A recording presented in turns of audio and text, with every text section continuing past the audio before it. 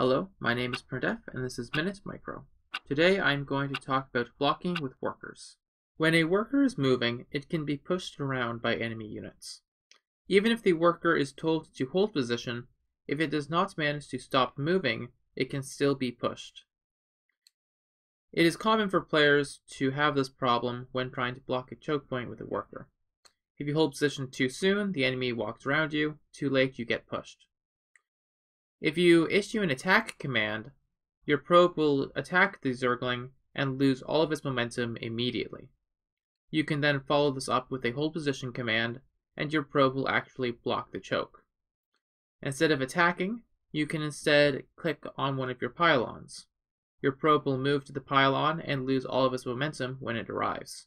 You can then tell the probe to hold position, and since it is not moving, it will hold the gap. This technique allows you to be much more consistent with your probe faults. It is of course still possible for Zerglings to run past your probe even though it's blocking the wall, but that's a topic for another time. If you found this useful, don't forget to subscribe.